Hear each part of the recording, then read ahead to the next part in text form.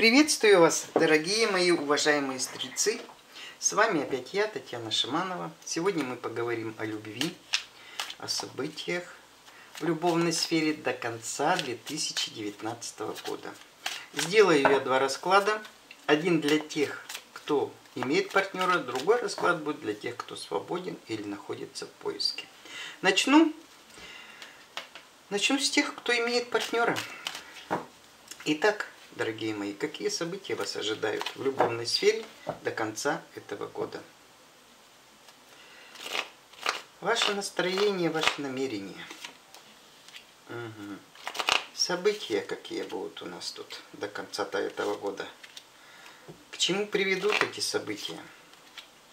И совет карт Таро. Так.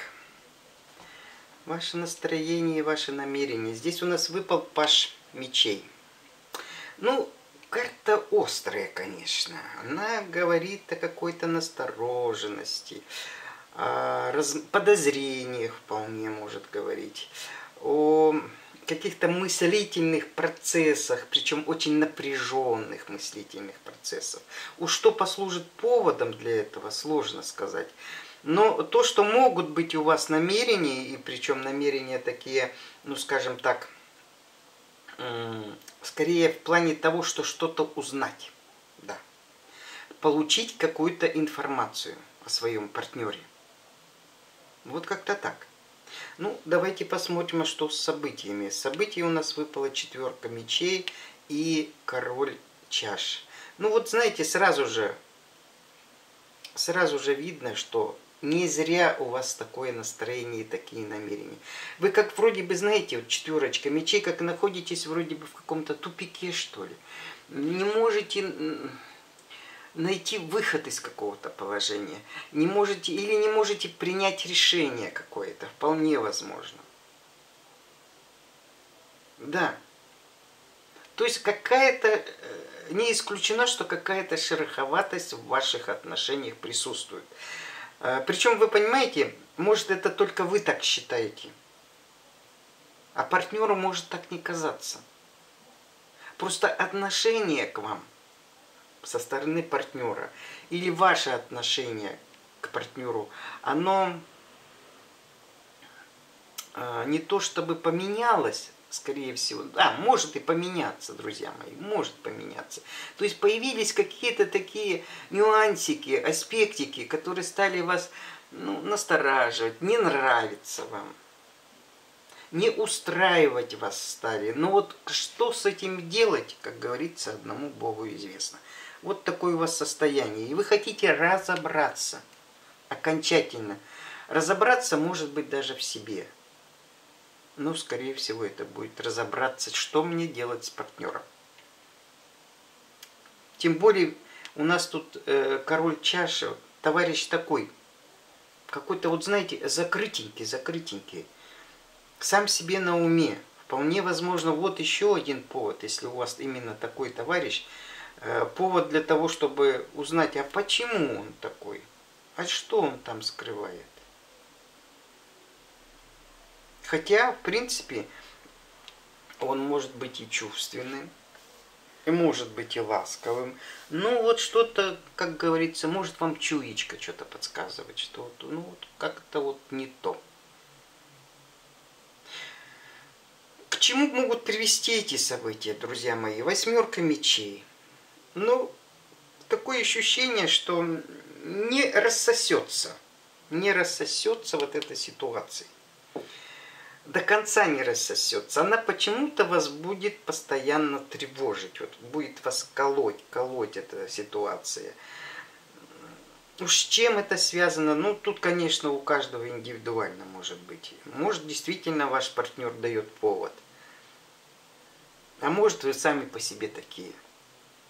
Вот. Ну, будут присутствовать такая неуверенность, э, э, ну, не сказать, чтобы печаль, но вот какая-то такая нестабильное внутреннее состояние. Оно может быть, понимаете, то вы в панику бросаетесь, э, чего-то боитесь, вот, то наоборот успокаивайтесь, то вот, вот так, знаете, перемена у вас будет, настроение, перемена состояния вашего эмоционального, вашего умственного. Может быть, вы будете еще больше, еще, знаете, вот если вот здесь, да, смотреть, намерение, тут человек все-таки конкретно знает, э, что он хочет. Он э, в состоянии мыслить трезво, скажем так, рационально, рационально. То в состоянии восьмерки мечей очень сложно уже мыслить так. Ну что-то вас будет тревожить. И зря, кстати говоря, зря, потому что у нас э, совет карт десятка чаш, дорогие мои. Расслабьтесь, расслабьтесь. Все ваши вот эти потуги, все ваши страхи, они могут не стоить и выеденного яйца. Живите радостно. Живите, наслаждайтесь тем, что есть. Ну, в крайнем случае, в крайнем случае, ну, попробуйте пробиться до души этого короля, выяснить все-таки свой вопрос, который вас тревожит, и расставьте все точки над «и». И все, и начинайте жить дальше, без печали, без страхов, без панических вот таких атак. Вот такие вам советы дает карты Таро. Ну, друзья мои, это все-таки общий, общий расклад. У кого-то он может отыграться как просто какие-то легкие шероховатости в отношениях с партнером. Э, для кого-то может быть э, какими-то моментами недоверия к своему партнеру. Может и такое быть. А у кого-то, кстати, может и проиграться тем, что вы найдете отдушину на стороне. Вот король, король чаш. Вы просто-напросто решите эту проблему вот именно таким образом. Если что-то у вас не так в отношениях со своим партнером, вы просто заведете новую связь. И будете, как говорится, получать удовольствие на все, как говорится, 100%. И такой вариант тоже может, друзья мои. Ну, в любом случае, в любом случае, несмотря на то, что тут выпало, будьте счастливы дорогие мои. Будьте счастливы. Не преувеличивайте свои проблемы. Ни в коем случае. Либо по-быстрому в них постарайтесь разобраться. Удачи вам. Удачи вам и до новых встреч на моем канале. А я продолжу. Продолжу дальше расклад для тех, кто свободен, кто находится в поиске друзья мои, давайте посмотрим, что у вас там, какие события ожидаются в личной жизни до конца 2019 года. Итак, ваши намерения, ваши, ваше настроение. Ой, какая лепота. Какие события вас ожидают?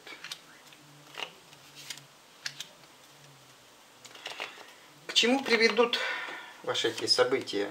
Какими изменениями? и кар совет Картаро.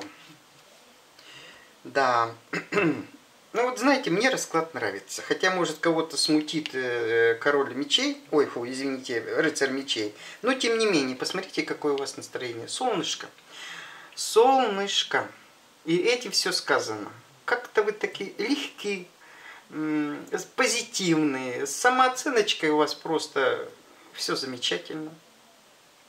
Да, э, месяц может, вернее, этот период до конца года может быть суетливым.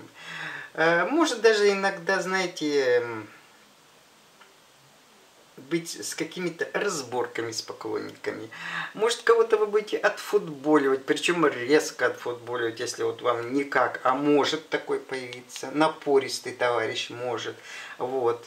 И вы вот как, как в футбол будете играть в этот период. Одного сюда, одного сюда. Вот этого хочу, этого не хочу, вот, э, а вот этого хочу, а дай-ка я на него наеду, а дай-ка я его, так сказать, попробую атаковать, а вдруг получится, понимаете? И все это вот с таким солнечным настроением, э, с таким,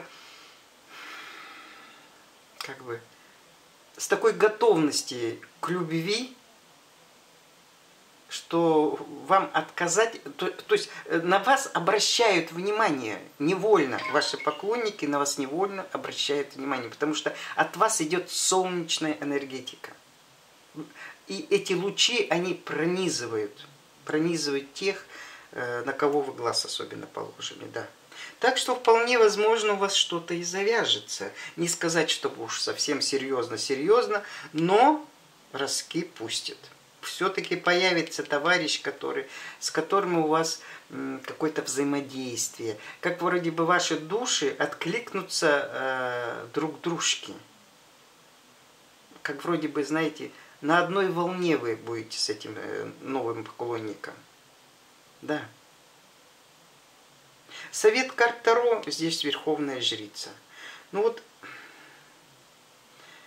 почему-то, знаете, идет такое интересное сообщение, как вроде бы это...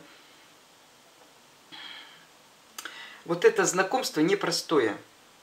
Оно как вроде бы послано вам с небес, что ли. Да, с небес, от высших сил. Почему, не знаю. Ну, то, что говорю, то, то я, чуть-чуть, что я чувствую, то я вам и говорю.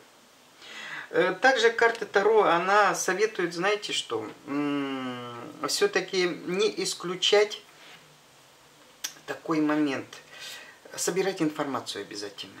Несмотря вот на такую доверчивость, простоту и легкость, все-таки собирайте информацию о своих поклонниках. Кого вы хотите себе э, приблизить. Эм, не будьте слишком доверчивы, потому что могут оказаться скелеты в шкафу у кого-то из них. Поэтому будьте внимательны, будьте разборчивы. Э, ну, вот как-то так, я бы сказала. Позитивненький, позитивненький прогноз, друзья мои. И вот это солнышко, ну прямо, знаете, вот это можно было убрать, а вот эту оставить. Все, солнце хватило бы. Все будет замечательно. И дай-то Бог, и пусть так оно и будет. На этой позитивной ноте я прощаюсь с вами. До следующих встреч на моем канале.